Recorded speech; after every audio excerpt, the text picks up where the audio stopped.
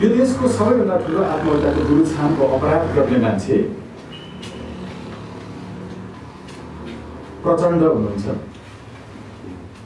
राजेन्द्र महतो हुनुहुन्छ। अहिलेसम्मका नेताहरू हुनुहुन्छ। आन्दोलनमा गएर मृत्यु भएपछि राज्यले दस लाख रुपियाँ मृत्यु हुनेहरूलाई दिने घोषणा गरेको बेलामा हामी पचास लाख दिन्छौँ आन्दोलनमा मर्न आउनुहोस् तयार हुनुहोस् भनेर भाषण गर्ने राजेन्द्र महतोहरूले सोझै सोझै मान्छेलाई मर्न तयार गरेर बाल सैनिकहरूलाई पछि अयोग्य लडाकु घोषणा गरेर त्यो अयोग्य लडाकु घोषणा गरिसकेपछि यो पाँच वर्षको बिचमा सातजना अयोग्य लडाकु ठहराइएका त्यति बेलाका बाल सैनिकहरूले आत्महत्या गरिसकेका छन्। संसारमा नेपाल मात्र एउटा यस्तो देश हो जुन देशको सञ्चार माध्यममा अरू देशको स्वतन्त्रता दिवसको दिन स्वाधीनता दिवसको दिन खुसी मनाएर विज्ञापन छापिन्छ। यस्तो कहीँ पनि हुन्न। जस्तो न्युयोर्क टाइम्सले के छाप्छ। मिरर डेलीले पनि छाप्छ। तर उनीहरूले के छाप्छन् भने एउटा आफ्नो देशसँग दौत्य सम्बन्ध भएको अर्को देशको दौत्य सम्बन्धको स्थापना भएको दिन मात्रै छाप्छ। त्यो दुवै देशको खुसीको विषय हो। तर अर्कै देशको स्वाधीनता दिवसको दिन स्वतन्त्रता दिवसको दिन कति रुपियाँमा छापिएको छ नेपाललाई थाहा छ? केवल उनीबाट कति आउँछ हामीलाई थाहा छ? परराष्ट्र मन्त्रालयको अनुमति छ त्यो विज्ञापन छाप्छ। छ भने मुर्दाबाद। छ भने सरकार मुर्दाबाद सञ्चार माध्यम मुर्दाबाद यस्तो परराष्ट्र नीति मुर्दाबाद यो सञ्चार नीति मुर्दाबाद। नेपाल जी न्युज अनलाइन टिभी मजाले हेर्नुहोस्। धन्यवाद। साथीहरू सबैलाई नमस्कार। अधिवक्ता र पच्चिस वर्षसम्म नेपाली मिडियामा काम गरेँ। म नेपालमा मिडिया ल पढाइ हुँदाखेरि जम्मा दुईजना मात्रै विद्यार्थी मिडिया लको भएको बेलाको मिडिया लको विद्यार्थी पच्चिस वर्षसम्म राष्ट्रिय दैनिकहरू राष्ट्रिय टेलिभिजन च्यानलहरू रेडियोमा टेलिभिजनमा समेत काम गर्दै गर्दै दुई हजार त्रिपन्न सालको डिएलको पास आउट पछि एलएलएम। जोडेको किन भने म आफै सम्पादकसम्म रहेर सञ्चार माध्यमहरूको हुँदै आएको हुनाले कृपया कृपया कृपया। मैले नाम उल्लेख नगरेका मान्छेहरूको नाम राखेर हेडलाइन नबनाइदिनु होला बाध्यता छ मैले पत्रकारिता गर्दा पनि धेरै गरेँ कि। त्यो भएको हुनाले बाध्यता छ। तर हेडलाइनहरू आइहाल्छन् चिन्ता छैन मुख्य कुरा के छ भने यो देशको सबैभन्दा ठुलो आत्महत्याको दुरुत्थानको अपराध गर्ने मान्छे प्रचण्ड हुनुहुन्छ राजेन्द्र महतो हुनुहुन्छ अहिलेसम्मका नेताहरू हुनुहुन्छ। आन्दोलनमा गएर मृत्यु भएपछि राज्यले दस लाख रुपियाँ मृत्यु हुनेहरूलाई दिने घोषणा गरेको बेलामा हामी पचास लाख दिन्छौँ आन्दोलनमा मर्न आउनुहोस् तयार हुनुहोस् भनेर भाषण गर्ने राजेन्द्र महतोहरूले सोझै सोझै मान्छेलाई मर्न तयार गरेर बाल सैनिकहरूलाई पछि अयोग्य लडाकु घोषणा गरेर त्यो अयोग्य लडाकु घोषणा गरिसकेपछि यो पाँच वर्षको बिचमा सातजना अयोग्य लडाकु ठहराइएका त्यति बेलाका बाल सैनिकहरूले आत्महत्या गरिसकेका छन्। उनीहरूलाई आत्महत्या गर्न दुरुत्साहन गर्ने तिनै जनयुद्ध चलाउनेहरू हुन्। आत्महत्याको दुरुत्साहनका श्रृङ्खलाहरू के हुन्? यस्तो जोडिसक्नु भएको छ। म विनम्रतापूर्वक अत्यन्त धेरै सम्मान व्यक्त गर्छु र बधाई ज्ञापन गर्छु कि आज सामाजिक सामाजिक एवं मनोसामाजिक सुशास्त्रका लागि राष्ट्रिय अभियानका संयोजक मनोविद गोपाल ढकालजीले यो प्रयत्न गर्नुभएको छ असाध्यै सराहनीय काम गर्नुभएको छ यो जरुरी थियो बुझाउन जरुरी थियो म यति कानुनी पाटोबाट कुरा गर्दा यो आत्महत्या सबै कायरता हुँदैन आत्महत्या संयुक्त राष्ट्र सङ्घीय भवन अगाडि कोरियाली कृषकहरूले संयुक्त राष्ट्र सङ्घीय कृषि नीतिको विरोध गर्दै आफ्नो पेट आफैले तरवारले चिरेर गरेको त्यो आन्दोलन त्यो हाराखिरी थियो। जापानी भाषामा हाराखिरी भनिन्छ। त्यसले त्यसपछि युद्धमा आउने आन्दोलनमा आउने अन्यायमा परेका मान्छेलाई उठ्न र जाग्नका लागि प्रेरित गरेको थियो। जसरी इजिप्टबाट सुरु भएको एकजना युवा राम्रो पढिसकेर कुनै जागिर नभएपछि सडकमा आएर एउटा ठेलामा तरकारी व्यापार गर्न थालेपछि सत्ताधारीहरूको विरोधका कारण जो आफै व्यवस्थाको विरोधमा हुनुहुन्थ्यो उहाँको ठेला पल्टाइदिएर दुई तिन पटकसम्म ऋण गरेर गरेको तरकारी व्यापार पनि टाट पल्टिएपछि आफ्नो शरीरमा आफैले आगो लगाएर मर्ने एकजना युवाको कारणले सुरु भएको आन्दोलनले पुरै मुस्लिम रिजनकै राज्यका शासनहरू परिवर्तन भयो। इजिप्टको यो थियो घटना त्यस कारण त्यो आत्महत्या वास्तवमा कारण थिएन पुरानो कुरातर्फ हेर्ने हो भने रोममा देशभक्तिपूर्ण आत्महत्यालाई अपराध मानिन्न थियो। तर त्यति बेला पनि सैनिकहरूलाई दासहरूलाई सङ्गीन अपराधमा अभियुक्त बनाइएका व्यक्तिहरूलाई आत्महत्या गर्न प्रतिबन्ध थियो। आत्महत्यालाई अपराधीकरण अथवा क्रिमिनलाइजेसन गरिएको थियो। त्यति बेला जति बेला फ्रान्सेली शासक लुई चौधौँले आत्महत्यालाई अपराधीकरण गरेर कानुन ल्याउनु भयो त्यो कानुन उहाँले सोह्र सय सत्तरीमै ल्याउनु भएको थियो। आत्महत्या गर्ने व्यक्तिहरूलाई सहरमा घिसारेर सजाय दिइन्थ्यो। आत्महत्या गर्ने व्यक्तिको सम्पूर्ण जायजेता राज्यले आफ्नो नाममा लिन्थ्यो। यो सम्मको आत्महत्या स्वयं एउटा र मरिसकेको एउटा प्रिन्सिपल छ क्रिमिनल लको थियरीमा कि अपराधीको मृत्युसँगै अपराध पनि मर्छ।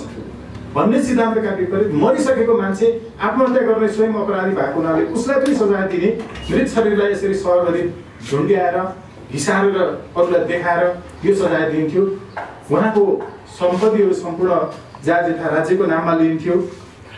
र क्रमशः क्रमशः क्रमशः अपराधलाई आत्महत्याभित्र पनि पारेर जुन विकास अहिले विश्वभरि भएको छ हामी नेपालको इतिहासमै पहिलोपटक आत्महत्या गर्न गलत ढङ्गले प्रेरित गर्ने व्यक्तिहरूलाई दुरुत्साहनको अपराध गरेको भनेर सजाय समेत गर्ने व्यवस्थामा किन आइपुग्यो?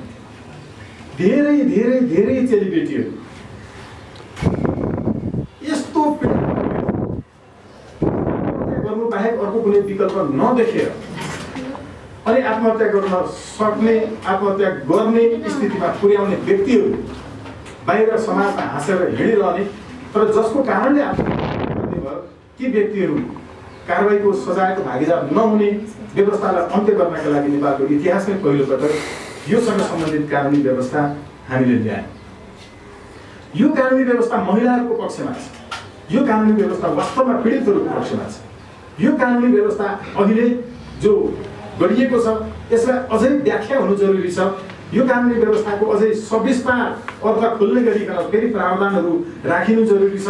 तर यसको नाममा अन्याय गरिरहने अत्याचार गरिरहने दाइजो नलाएको कारणले मर्नुपर्ने चेलीबेटीहरूलाई पारिरहने यस्ता व्यक्तिहरूलाई हामी छुट दिने गरिकनको यसमा संशोधन खोज्ने कोणबाट कुराहरू छन् यो ऐतिहासिक रूपमा हामीले प्राप्त गरेको उपलब्धिको विरुद्धमा आइरहेको अभिव्यक्ति हो।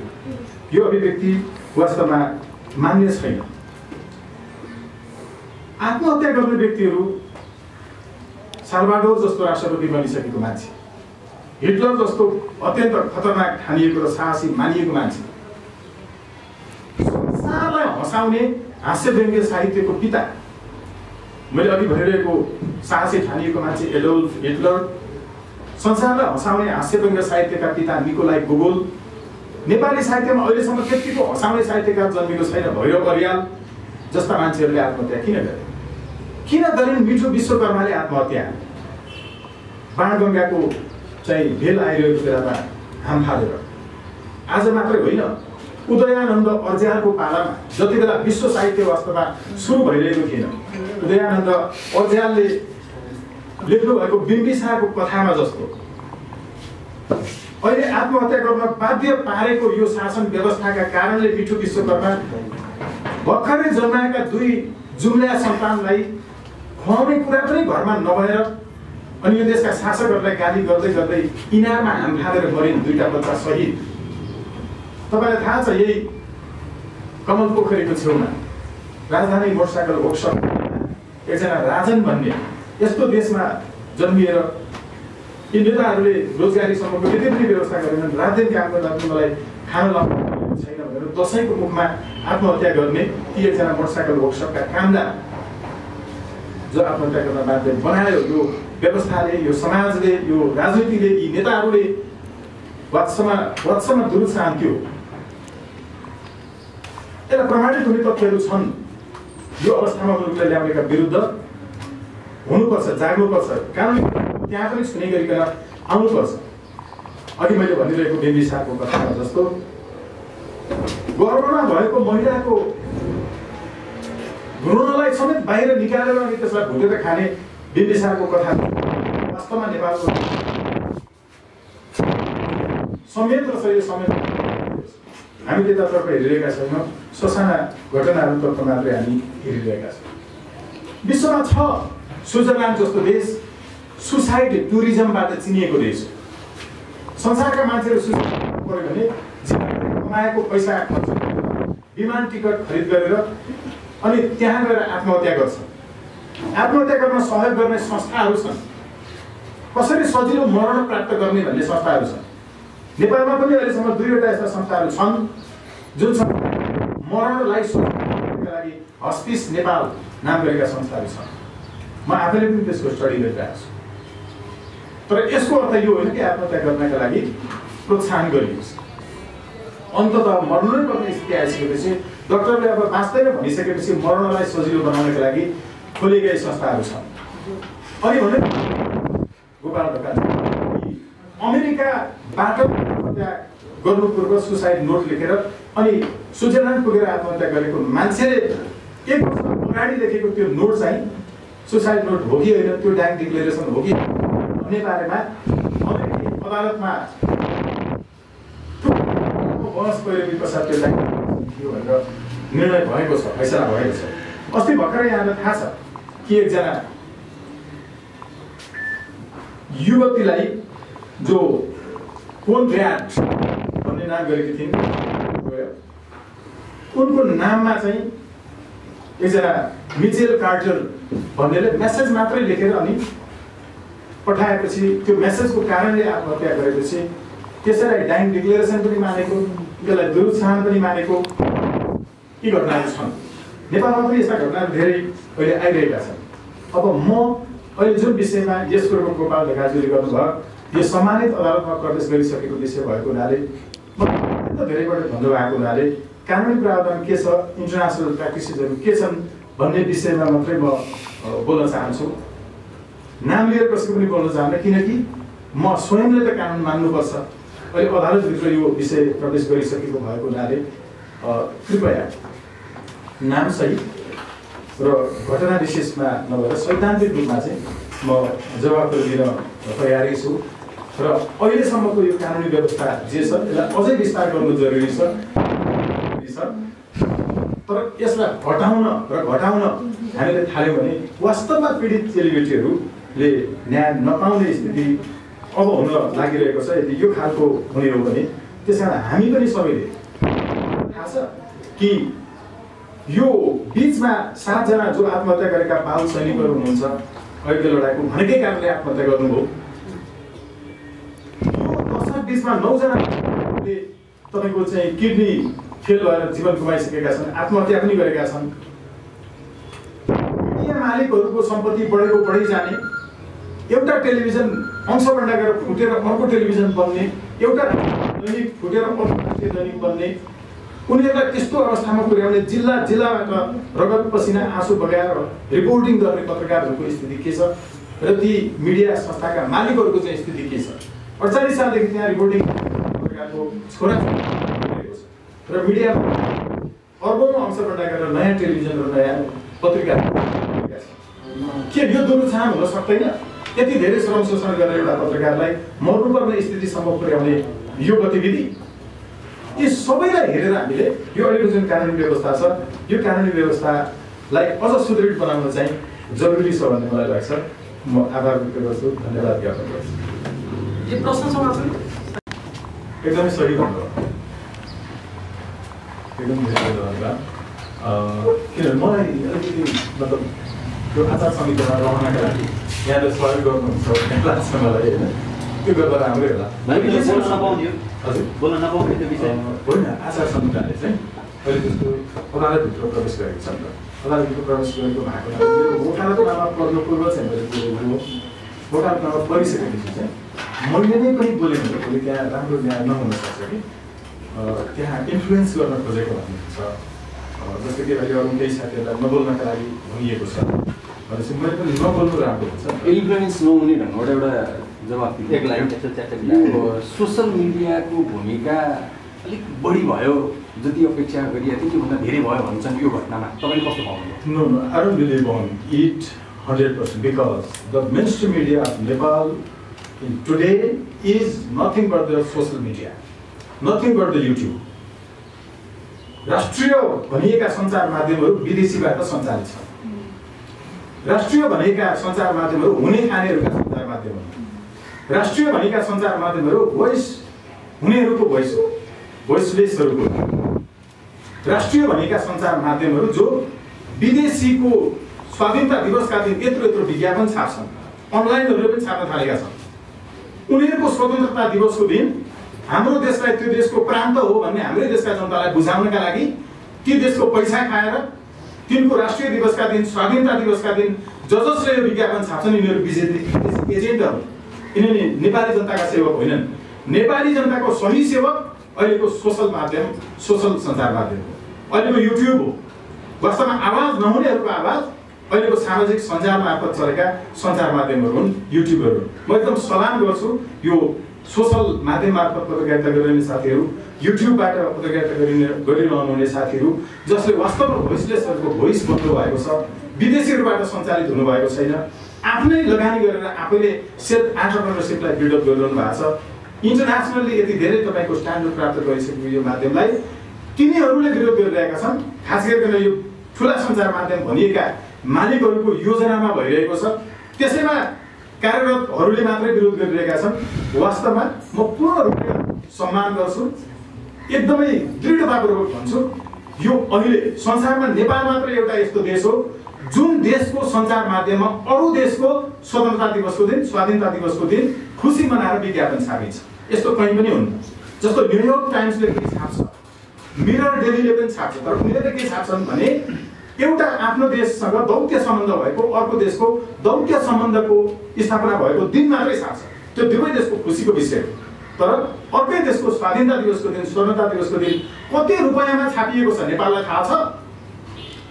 केवल उनीबाट कति आउँछ हामीलाई थाहा छ? परराष्ट्र मन्त्रालयको अनुमति छ त्यो विज्ञापन छाप्छ। छ भने मुर्दाबाद। छ भने सरकार मुर्दाबाद सञ्चार माध्यम मुर्दाबाद यस्तो परराष्ट्र नीति मुर्दाबाद यो सञ्चार नीति मुर्दाबाद। कुरै छैन। हुन्छ के भने हामी तपाईँ मात्रै फेरि संसारका यस्ता पत्रकारहरू हौँ जुन देशको पत्रकार अर्को देशको राजदूत हाम्रो देशमा आउँदा त्यो देशको राजदूतले मुस्ताङमा गएर एम्बुलेन्स बाँड्दा सप्तरी र झापामा गएर विद्यालय उद्घाटन गर्दा मेरो देशको परराष्ट्र मन्त्रालयको अनुमति लिएर तिमी मुस्ताङ आयो कि आएन? तिमी झापा वा सप्तरी आउँदाखेरि मेरो देशको परराष्ट्र मन्त्रालयको अनुमति पत्र छ भनेर तपाईँ हामी पत्रकारहरू सोध्दैनौँ। हामी उनका पछि पछि लागेर समाचार बनाउँछौँ।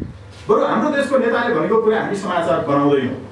हामी सोध्दैनौँ कि हाम्रो देशको परराष्ट्र मन्त्रालयको अनुमति लिएर आउनुभयो कि नलिकन आउनुभयो। यस्ता समाचार ब्ल्याकआउट हुनुपर्छ।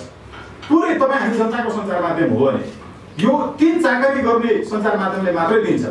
नेपालको कुनै पनि देशमा जाने राजदूतले जहाँ राजदूतावास छ त्यो भन्दा चौकिल्ला बाहिर जाँदा त्यो देशको परराष्ट्र मन्त्रालयको अनुमति लिएर मात्रै जानुपर्छ।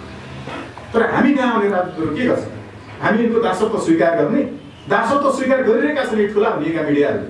अब तपाईँ हामीले बचाउनुपर्छ यो सामाजिक सञ्जाल मार्फत पत्रकारिता गरिरहेकाहरूले बचाउनुपर्छ यो युट्युब मार्फत पत्रकारिता गरिरहेकाहरूले बताउनुपर्छ सो जो सोझो जनताको बिचमा कसैको कपड छान नभइकन सही समाचार लिएर हामी गइरहेका छौँ। अर्थात् मैले भन्नु खोजेको म आफै पनि मिडिया लको विद्यार्थी भएको हुनाले पत्रकारिताको पृष्ठभूमि भएको हुनाले मैले आफैले पनि पत्रकारिता गर्दाखेरि यी विषयमा मैले ब्ल्याकआउट गर्ने गर्थेँ आफूले सकेसम्म। तर यी विषयहरू छायामा पारिन्थ्यो। यहाँले सुरुमै भन्नुभयो केही नेताको नाम लिएर जनतालाई आत्महत्या गर्नको लागि दुरुत्साहन गर्ने व्यक्तिहरू भनेर भन्नुभयो। ती व्यक्तिहरूले दुरुत्साहन गरेको तपाईँ जस्तो कानुनको विज्ञलाई थाहा छ भने तपाईँले अदालतमा मुद्दा नहालेर यसरी हाम्रो अगाडि अथवा पत्रकार सम्मेलनमा पत्रकारको अगाडि बोल्नुको त अर्थ हुँदैन मुद्दा एउटा चाहिँ अर्थ छ।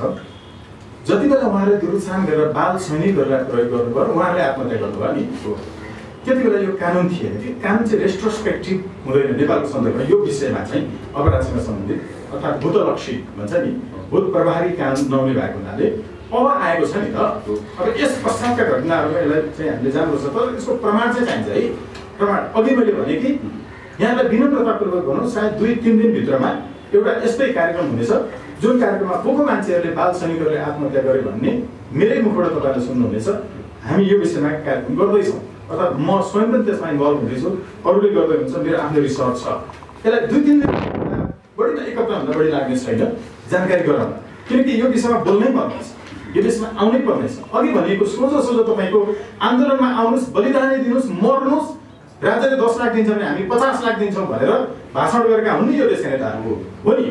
अनि यिनीहरूभन्दा अर्को आत्महत्यामा दुरुत्साहन गर्ने यिनीहरूभन्दा अपराधी को हुन सक्छ आन्दोलनको नाममा यसो गर्ने।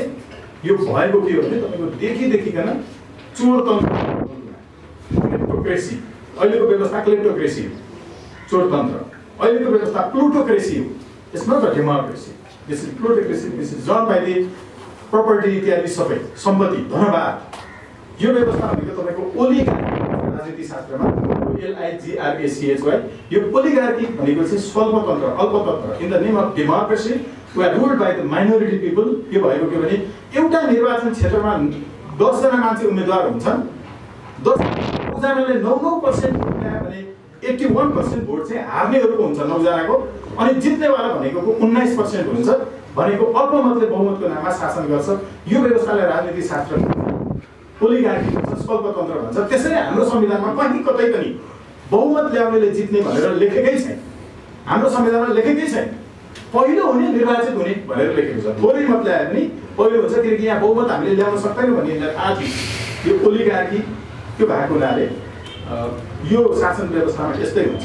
यसलाई चाहिँ रोक्नै पर्ने जरुरी छ। थ्याङ्क यू अनि सर सुन न एउटा कुरा सोधिहाल्यो हुन त पुरा सैनिक काण्डमा चाहिँ हामी न अब छिर्न मिल्दैन तपाईँको भनाइअनुसार तर पनि मलाई फेरि त्यो काण्डले झ्यास झ्यास पारेको हुन्छ रवि लामिछानेको एउटा केस फेरि उहाँले भन्नुभएको थियो कि म पत्रकार होइन म कार्यक्रम प्रस्तुता हो। है हामी यहाँ पनि टेलिभिजनका साथीहरू पनि हुनुहुन्छ युट्युबका साथीहरू पनि हुनुहुन्छ। हामी आफै पनि कन्फ्युज छौँ के त भन्दाखेरि हामीलाई कतिपयले पत्रकार भन्नुहुन्छ। कतिपयले यिनीहरू पत्रकार होइन यिनीहरू युट्युबर भन्नुहुन्छ खास त्यो कानुनी अनुसार अझै भाषा त युट्युबे हो। है? ठ्याक्कै भाषा युट्युबे हो। है? अब यदि हामी युट्युबे हो भने तपाईँहरू जस्ता व्यक्तिहरू हामीसँग आउनुहुन्छ कसरी?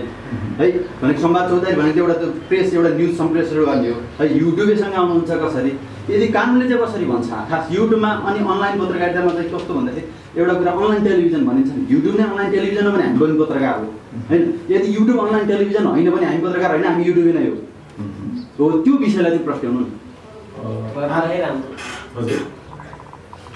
अ, सर के थप्नु भएको ठिक छ। ओके हेर्नुहोस् है from the very beginning I'm totally convinced, clear, confident that YouTube is a mainstream journalistic means. अहिलेको समयमा तर मैले एउटा कुरा भनेको छु कृपया त्यो क्लियर गर्न मात्रै खोजिरहेको छु सैद्धान्तिक रूपमा के सञ्चारकर्मी र पत्रकार फरक सबै पत्रकारहरू सञ्चारकर्मी पनि हुन् तर सबै सञ्चारकर्मीहरू पत्रकार होइनन्। जसले अरूबाट प्रायोजन गरेर कार्यक्रम मात्रै सञ्चालन गर्छ त्यो पत्रकार होइन हाम्रो अधिवक्ता लोहनी क्या फेमस हुनुहुन्थ्यो बहस कार्यक्रम चलाउनु लोहनी सबैले उहाँलाई पत्रकार भनेर बुझ्थे। तर उहाँ केवल सञ्चारकर्मी हुनुहुन्थ्यो उहाँ प्रायोजित प्रोग्राम चलाउनुहुन्थ्यो हाम्रो विजय कुमार पाण्डेजी जो टेलिभिजनमा चलाउनुहुन्थ्यो होइन? संसारका एनजिओ आइएनजिओका रकमहरूबाट प्रायोजित भएको प्रोग्राम चलाउनुहुन्थ्यो त्यो प्रोग्रामका सन्दर्भमा चाहिँ उहाँ सञ्चारकर्मी मात्रै हो। हामी तपाईँले कुनै स्पेस किनेर होइन प्रोग्राम चलायौँ भने त्यो हाम्रो सञ्चारकर्मी मात्रै हुन्छ। अहिले युट्युबको सवालमा चाहिँ सबै टेलिभिजन कार्यक्रमहरू युट्युबमा छन् त। हटाउनु पऱ्यो। तिनका टेलिभिजन पर्दामा मात्रै देखाउनु पऱ्यो। अहिले यो कन्भर्ज एज अफ जर्नलिजम जसरी आएको छ यसले गरेको युट्युब चाहिँ एकदम यो निकृष्ट मान्छेहरूले प्रयोग गर्ने शब्द हो। असभ्य मान्छेहरूले प्रयोग गर्ने शब्द हो। संस्कार मान्छेहरूले। ऊ कस्तो परिवारबाट आएको रहेछ भन्ने कुरो बुझिन्छ। जसले आफ्नो घरमा छोरालाई भतिजलाई बोलाउँदा पनि रमेश भनेर बोलाउँदैन रमेशे भनेर बोलाउँछ। जसले युवराज भने युवराजे भनेर बोलाउँछ एक हात जोडेर। यो एक लखे जोडेर प्रयोग गर्ने जसजसले प्रयोग गर्छन् यिनीहरू असभ्य मान्छे। सभ्य मान्छेले यस्तो भाषा प्रयोग गर्दैन त्यो भएकोले युट्युब जर्नलिजम चाहिँ। पूर्ण रूपले पत्रकार राज्यले मान्यता दिन्छ दिँदैन त्यो तर समय आउँदैछ तर हामीले केही प्रक्रियाहरू पुरा गर्नै पर्छ। हामी कम्पनीको रूपमा दर्ता हुनैपर्छ राज्यले दिएन हामीलाई भने त्यति बेला जानेछ मसँग आउनु होला हाम्रो पक्षमा लडिदिनु हुन्छ एकदमै युट्युबका साथीहरू बरु गर्न के सकिन्छ भने वास्तवमा पत्रकारिताको एबिसिडी छ नि। म जान्ने भएर भन्न खोजेको तर पत्रकारिता धेरै लामो समयसम्म पढाएको छु कि मैले धेरै ब्याचहरूलाई उत्तीर्ण गराएको छु। अहिले त एक्जिक्युटिभ एडिटरहरूसँग भइसक्नु भएको छ मैले पढाएकाहरू बरु केही सेयरिङ गरौँ छलफल गरौँ होइन पत्रकारिताका आधारभूत तत्त्वहरू के हुन् कसरी बनाउने त्यसपछि अनि सपोर्टिङ कसरी राख्ने रिपोर्टिङ कसरी डेभलप गर्ने भन्ने बारेमा म बरु सँगसँगै छु है। तर हामी दर्ता भएर कानुनी प्रक्रियामा जाउँ दिएन दर्ता भने म कहाँ आउनु होला? कानुनी रूपमा लडाइँ लड्ने काम चाहिँ गरौँला यो युट्युबे भनेर चाहिँ शब्द प्रयोग गर्ने असभ्यहरू लागिरहनु जरुरी छ। जनताको भोइस होइन। तपाईँ युट्युबका साथीहरू चाहिँ भोइसलेस भोइस भएको हुनाले हामीले आफै पनि अलिकति जिम्मेवार चाहिँ बन्न जरुरी छ है। थोरै केही। त्यो थाहा नभएर हुनसक्छ तपाईँलाई थाहा पाउने तर्फ पनि